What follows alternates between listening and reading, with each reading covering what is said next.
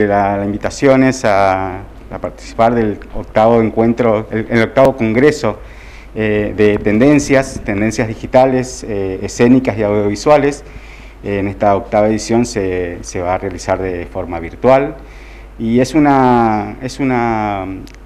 es una unión, digamos, es una, manera de poder compartir experiencias dentro de este campo, dentro del campo de de lo digital, de la televisión, de la web, redes sociales, eh, organizadas por, organizada por la Universidad de Palermo.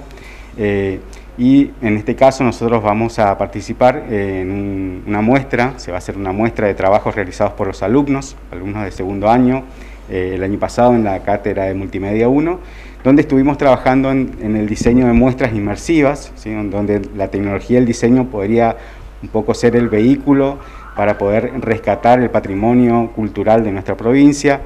eh, que lo hicimos también con el asesoramiento de profesionales de la Dirección de, Patrimonio Cultural del Instituto de Cultura,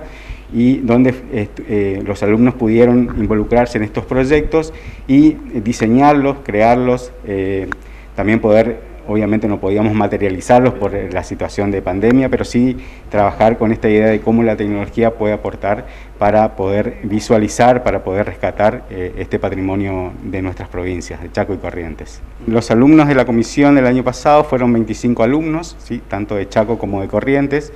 y la idea es poder presentar sus trabajos, ellos obviamente también van a poder participar como, como alumnos, y un poco es visualizar también la producción y la metodología de trabajo de nuestra universidad, ¿no? poder compartir esa experiencia eh, que también nosotros desde acá, desde el Chaco, estamos eh, haciendo también, estamos creando diferentes proyectos y un poco es poner en, común, digamos, en, esta, en este congreso. Esta es la primera vez que podemos participar eh, justamente por esta modalidad virtual. Entonces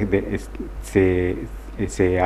va a ser un alcance mucho mayor, ¿sí? van a participar universidades y artistas profesionales del mundo de, bueno, de Internet, de la televisión, de todo el país. Entonces creemos nosotros que es una, es una buena oportunidad.